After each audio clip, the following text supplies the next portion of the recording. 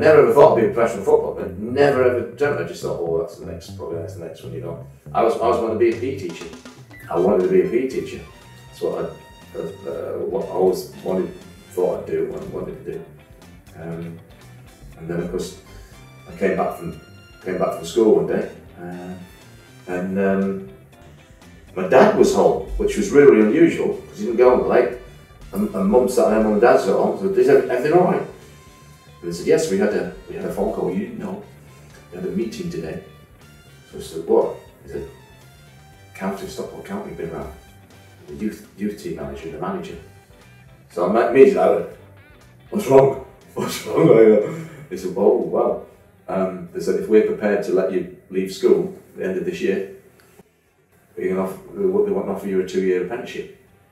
So he's like, I'm, I'm, what do you say? What do you say?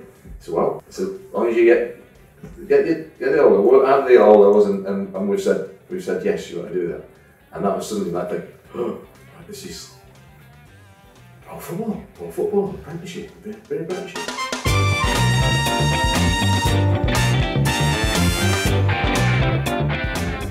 I took five O levels that year, and I passed two of them. I was just my head just like just somewhere else.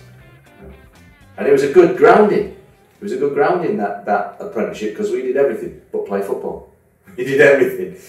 Kick boys, clean the boots. I mean, um, they didn't have a groundsman. We, there was four of us. Four of us looked after the pitch. Match days, we used to the whole day used to be washing the seat. Used to wash the whole of the seat, the stand.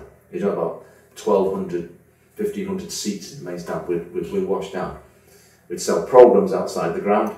Uh, it was just we did everything. We'd paint, we painted turnstiles. We did odd jobs that needed fence mending where somebody broke in and pushed in, and we'd mend the fence.